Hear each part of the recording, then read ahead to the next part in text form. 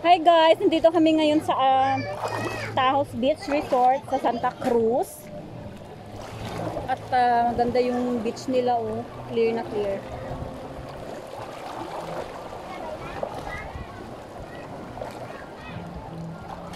So kung pupunta kayo dito guys, mas better na magdadala na lang kayo ng tent kasi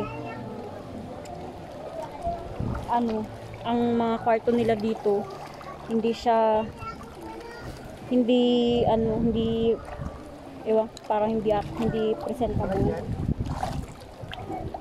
So kung makikita nyo guys may mga maliliit na isda. Ayan. Napakaganda dito kapag umaga. Pero pag gabi madilim. Madilim ang dagat.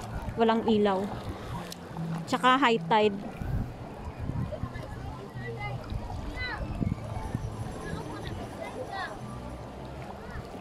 Yan kung makikita nyo yung dun na part hindi, hindi na ata yan kasama sa Tahos Beach Resort parang private area na ata yan